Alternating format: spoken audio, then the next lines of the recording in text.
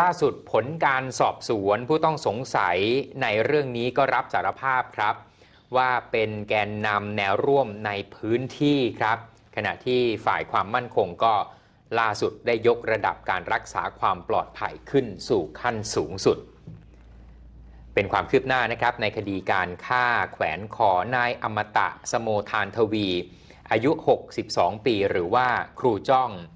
อดีตครูที่อำเภอสะบ้าย้อยจังหวัดสงขลา แล้วคนร้ายก็ชิงรถกระบะไปประกอบเป็นระเบิดคาร์บอม ก่อนที่จะนำไปวางที่หน้าหน่วยเฉพาะกิจอำเภอเทพาทำให้ตชด 43 ที่อยู่ในฐานบาดเจ็บไป 6 นายครับ ซึ่งจนถึงขณะนี้มีการควบคุมตัวผู้ต้องสงสัยในพื้นที่อำเภอสะบ้าย้อยไปสอบสวนทั้งหมด 8 คนแล้ว รวมถึงตรวจสอบพบ แหล่งต้องสงสัยที่อาจจะใช้เป็นสถานที่ประกอบระเบิดคาร์บอม ที่ขนำหลังหนึ่ง ในพื้นที่บ้านควนร้านหมู่ที่2ตำบลเปียนอำเภอสะบ้าย้อย จังหวัดสงขลา ซึ่งเจ้าหน้าที่ก็ได้เข้าไปตรวจสอบเก็บหลักฐาน แล้วก็ตรวจ DNA ไว้ทั้งหมดแล้ว โดยมีรายงานความคืบหน้าผลการสอบสวนผู้ต้องสัผู้ต้องสงสัย โดยเฉพาะ 5 คนหลัง ที่ถูกควบคุมตัวได้ในพื้นที่อำเภอสะบ้าย้อยนะครับ โดยหนึ่งในนั้นยอมรับสารภาพแล้วว่าเป็นแกนนำที่ทำหน้าที่ปลุกระดมแนวร่วมในพื้นที่ แต่ก็ปฏิเสธว่าไม่มีส่วนเกี่ยวข้องกับการฆ่าแขวนคอ อดีตครู ส่วนผู้ต้องสงสัยอีกคน เป็นคนสนิทของครูจ้องที่เสียชีวิต ซึ่งเป็นคนที่ช่วยเลี้ยงไก่ชนที่บ้านพัก แต่ก็ปฏิเสธว่าไม่มีส่วนเกี่ยวข้องหรือรู้เห็นเช่นเดียวกันครับ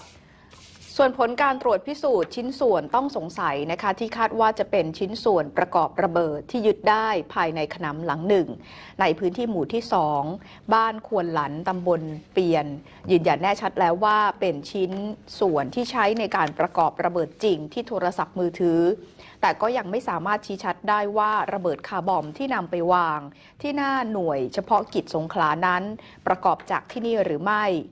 แต่จุดนี้จะเป็นลักษณะคล้ายกับร้านสะดวกซื้อที่สามารถสั่งชิ้นส่วนประกอบระเบิดได้ครบชุด ส่วนผู้ต้องสงสัยอีกสองคนที่หลบหนีไปได้ พบว่าเป็นผู้ที่มีความเชี่ยวชาญ ในด้านวงจรประกอบระเบิด ซึ่งเจ้าหน้าที่กำลังเร่งติดตามไล่ล่า เพราะเชื่อว่าจะมีส่วนสำคัญ ในการที่จะขยายผลไปถึงขบวนการก่อความไม่สงบ ทั้งเหตุคาร์บอมที่อำเภอเทพา และเหตุการณ์อื่น ๆ ได้ ขณะที่สถานการณ์ความไม่สงบในพื้นที่ของจังหวัดสงขลาเองก็ยังไม่น่าไว้วางใจนะครับ เพราะว่าเนื่องจากทางการข่าวเนี่ยยังคงได้รับรายงานความเคลื่อนไหวครับ ของแกนนำกลุ่มก่อความไม่สงบ ที่เข้ามาในพื้นที่อำเภอชายแดนของจังหวัดสงขลา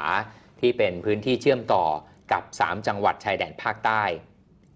ซึ่งล่าสุดนะครับท่านผู้ชมพบความเคลื่อนไหวของนายมายาโกลาเตะ แกนนำระดับปฏิบัติการ ที่เข้ามาในพื้นที่ชายแดนสงขลา ซึ่งอาจจะมีการวางแผนเตรียมก่อการร้ายขึ้นในระยะนี้ได้ครับ โดยเจ้าหน้าที่ฝ่ายความมั่นคง ได้เพิ่มมาตรการรักษาความปลอดภัยเป็นขั้นสูงสุด ทั้งในพื้นที่ 4 อำเภอชายแดนของจังหวัดสงขลา นั่นก็คืออำเภอจะนะอำเภอเทพาอำเภอนาทวี และอำเภอสะบ้าย้อย รวมถึงเพิ่มความปลอดภัยขั้นสูงสุดนะครับ ในตัวเมืองเศรษฐกิจ ทั้งในอำเภอสงขลาอำเภอสะเดาขออภัยครับอำเภอหาดใหญ่อำเภอสะเดา แล้วก็อำเภอเมืองสงขลา รวมถึงยังจัดชุดลาดตระเวนพื้นที่เสี่ยง มีการตั้งจุดตรวจจุดสกัด เพื่อป้องกันกลุ่มคนร้ายก่อเหตุสร้างสถานการณ์ และอาจจะตอบโต้เจ้าหน้าที่ รวมถึงลอบทำร้ายประชาชนได้ในระยะนี้ครับ